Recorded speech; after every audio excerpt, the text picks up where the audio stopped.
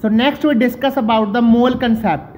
Before discussing this mole concept, we will take a simple example that when the two hydrogen molecule react with the one oxygen molecule, it will form the two water molecule.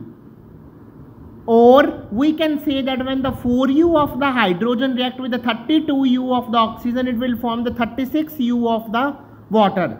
Now from where this 4U, 32U and 36U came?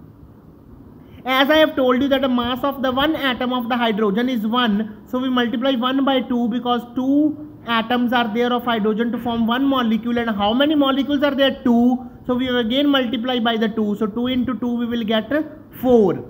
Mass of the one atom of oxygen is 16. Two atoms are there to form one molecule. So we multiply 16 by 2 we will get 32 mass of the one water molecule is 18 u. We have do the calculation that mass of one water molecule is 18 u. Now there are the two water molecules. So we multiply 18 by 2 we will get 36 u. Now this simple example above reaction indicate that a quantity of substance can be characterized by the mass or number of molecule. Either we will know the masses that is 4u react with the 32u to form the 36u of the water molecule or we will know the molecules that two molecule react with the one molecule of oxygen to form two molecule of the water. But a chemical reaction equation indicate directly the number of atoms or the molecules take part in a reaction.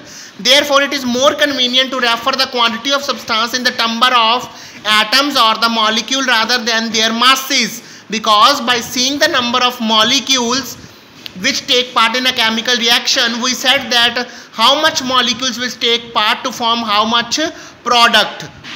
So a new unit known as a mole was introduced one mole is defined as a species atoms molecules ions or any particles is that quantity in the number which have a mass equal to atomic mass or molecular mass in the grams. These species can be particular atoms, molecules, ions or particles in a quantity in the number which have a mass equal to its atomic or molecular mass in the gram. So one mole of any substance has a fixed value that is 6.022 into 10 to the raise per 23 this is the fixed value of the 1 mole.